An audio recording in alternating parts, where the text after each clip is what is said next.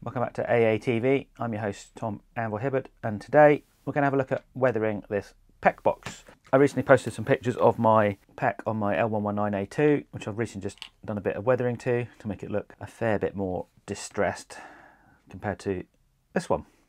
So I'll just go through very quickly what I did. Super simple using very readily available products.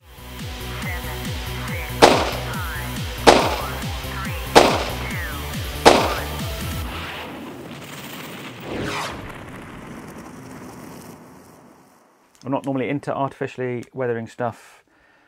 I tend to like it just picking up patina from playing with it. In this case, I think the plastics will take a lot longer. I think using this process, and it's not really complicated at all, gives a really nice effect. Okay, so what we're going to use primarily is this, which is a paint from Citadel, which is uh, Games Workshop, and it's a Citadel shade called Agrax Earthshade. So this product is developed for miniature painting, toy soldiers, and here's one I did recently. And it's designed to flow into the recesses and low points of the miniature and give it some shade and some depth. It's called Liquid Skill, or nicknamed Liquid Skill in the miniature painting community, because it makes pretty much makes everything look better straight away for really no effort. Um, easily available in Warhammer or Games Workshop shops or online, all over the place. So you will need some sort of palette. It can just be a white tile. I'm just using this old plate so when you first get this, give it a really good shake before you use it for about a minute. It's full of different chemicals and agents to make it flow properly and matte. Give a matte finish rather than a glossy finish, so they need to mix up. I'm using a, an old Games Workshop brush. You can use pretty much use anything. An old craft brush. We don't need to be too precise. We don't need a particularly good brush. And I tend to find it helps if you move it some onto the, your palette. It gives you better control over how much you're using rather than painting directly from the pot. The other thing you might want is a kitchen towel or a rag in order to wipe any excess off. So, so I'm going to put a coat on. So focus on your low areas. Don't worry too much about putting too much on at the moment. It can look quite messy. We're going to take this off later.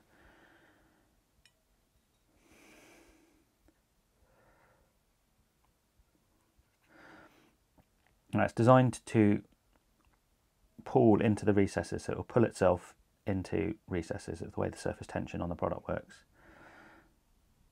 So we're just going to focus on all of the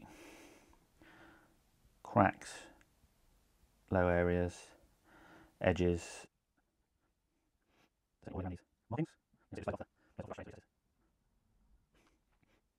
And it will take some time to dry, so you don't don't panic. Take, you know, don't take forever, but you you have quite a lot of working time with this.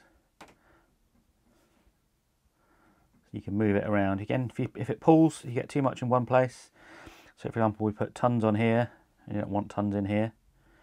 Need to do is to either clean your brush off on your tissue, or just come in and you can just lift it off with your brush.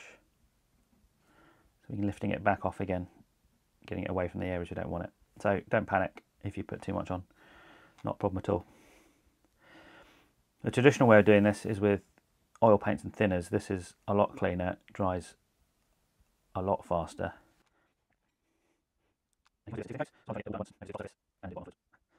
What you do want to do is when you pick a surface, just keep going. Otherwise, you can get tide marks where, where it dries.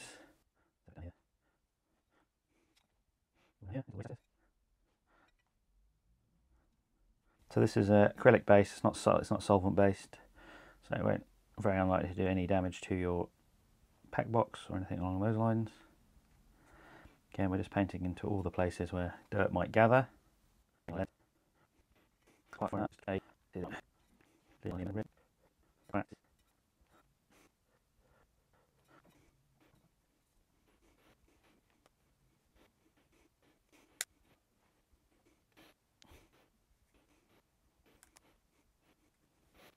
that's the first step, we've got it all on. You can clean your brush off in some water take uh, the rag or your cloth and wipe it across the surface.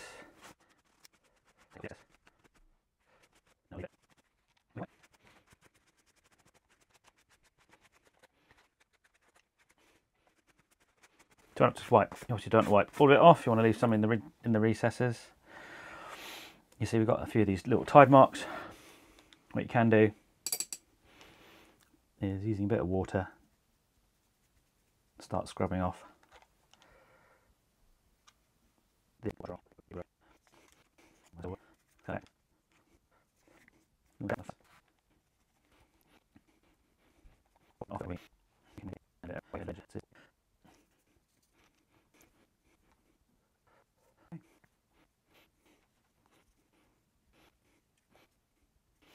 it's as simple as that really. It's a bit of finagling. So I'm just going to let that dry. And it's dried, there you go.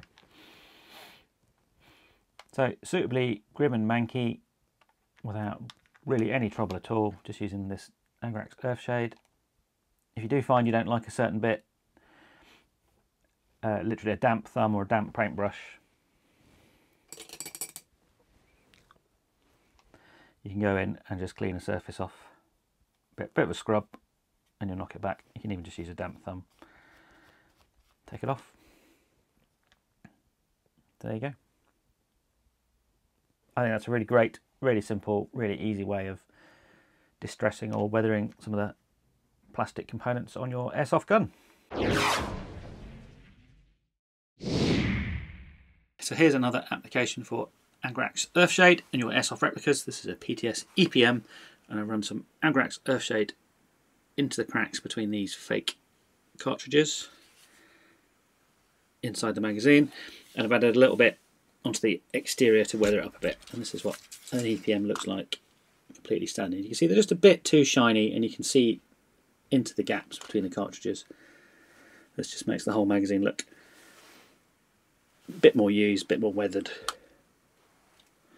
and the cartridge case is a lot less shiny. So let me show you how I did this. Okay, first things first, get some tape, put this over these little plastic windows to make sure they don't fall out. Okay. Move this screw.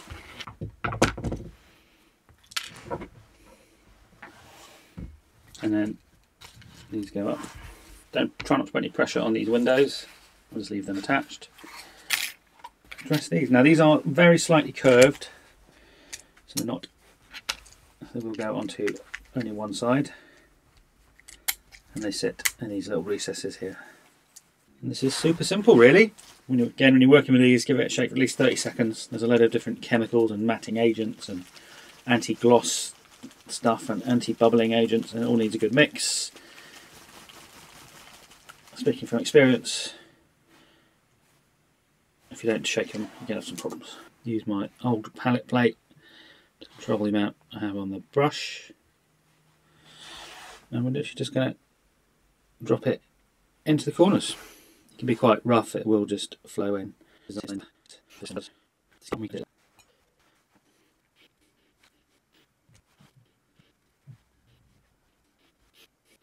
Okay, so we're just going to keep an eye on this as it dries for a little bit. If you have, if you think you've got too much on, in one area what you can do is take some of the stuff off and then you can just lift it off with a brush. Conversely if you think you don't have enough just go back in and add a bit more. But it might need to be behind a little window inside a magazine so you can probably have the effect a bit harsher than you would do if it was exposed. Okay. Okay let's dry for a bit.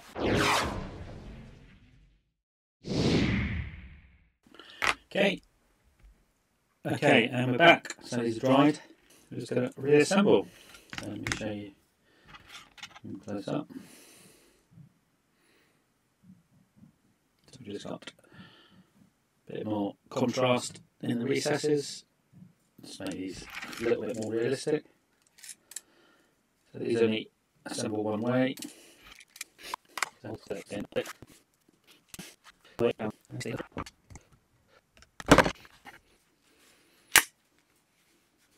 Take tape off.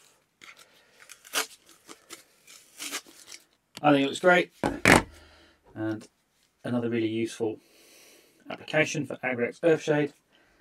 If you wanted to, you can paint the recesses of the magazine shell itself, like we did with the PEQ 15, and make it look a bit aged. So, Liquid Skill, available from all your local hobby shops. Super easy to use, highly recommended. Thanks for watching. I've been Tom Anvil Hibberd for AATV. Please like, subscribe, ding that bell to receive notifications whenever we go live or whenever we publish a new video. I'd like to thank all of my Patreons for supporting the channel. This couldn't carry on doing this project without you guys. Thank you so much for being there for me. Most importantly, stay safe and we'll see you soon.